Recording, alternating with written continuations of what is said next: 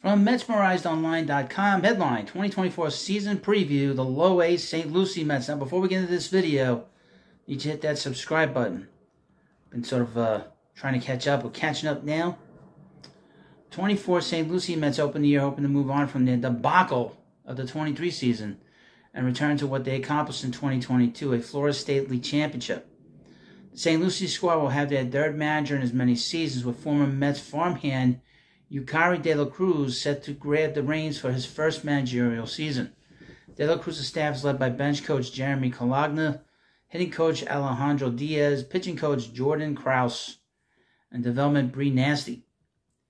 De La Cruz will look to lead an offense-heavy squad into Florida State League play, headlined by multiple top Mets draft picks and prospects, including the likes of the 2023 first-round pick Colin Houck, infielders Jesus Baez and Marco Vargas, catcher Ronald Hernandez, and outfielder Nick Morabito. The strength of the St. Lucie squad figures to be their offense. Both Vargas and Hernandez came to the Mets in a trade that sent David Robertson to the Marlins.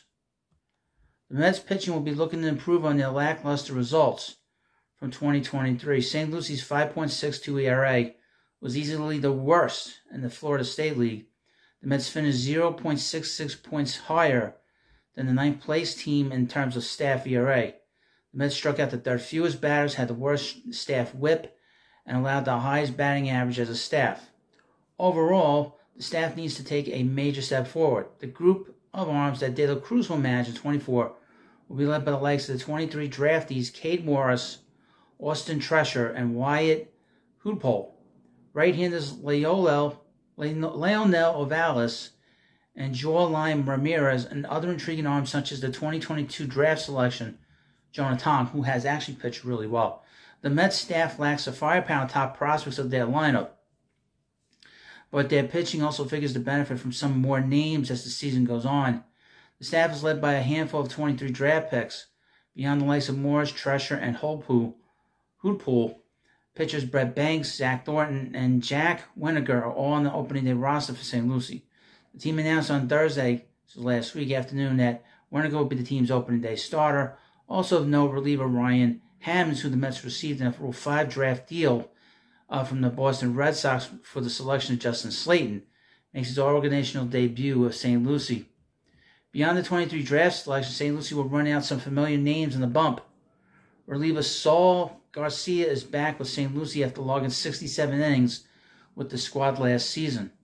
Ramirez and Ovalis are also set for another run with the team but their stays could be quick with them jumping up to Brooklyn relatively early into the new season.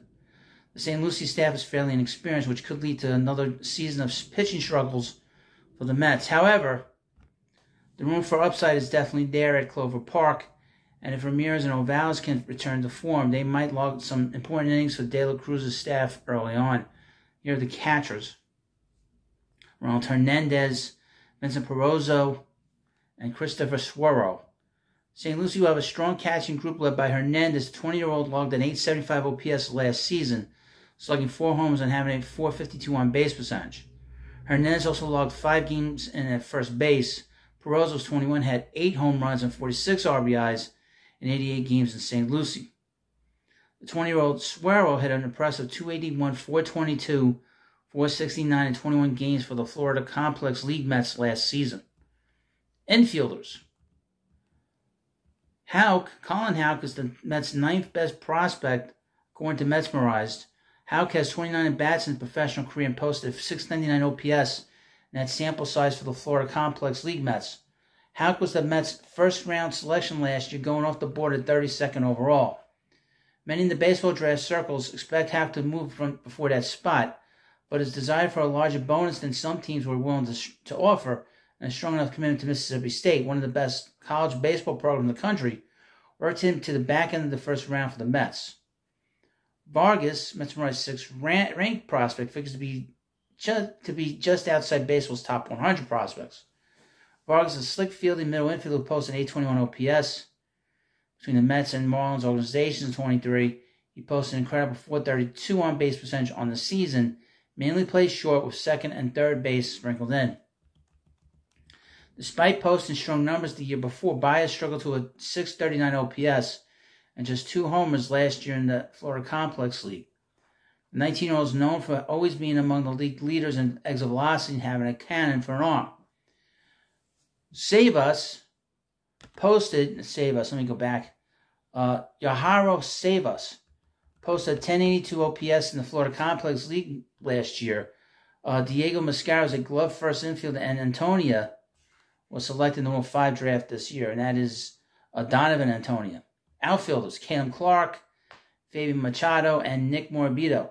Morabito's MMO's 26th ranked prospect is cracking an opening day full season roster after being the 75th overall selection in the 2022 amateur draft. The outfielder put a, together an incredible, strong 23 campaign, ending with a 780 OPS between the, the Florida Complex League and St. Lucie. Morabito profiles is an incredibly athletic defender who will make plays in the outfield. So this is this is what we we have right now. Uh, a lot to look forward to, obviously this year, and obviously they've gotten the games done. So this is the final uh, uh, preview for you until we get to the Florida Complex League clubs. That comes down later on in a few months. So thank you for watching this video. Of course, please subscribe to the Prospect Hut. You get all the information on the Mets prospects and the Mets organization. Thank you for watching. I'll see you later.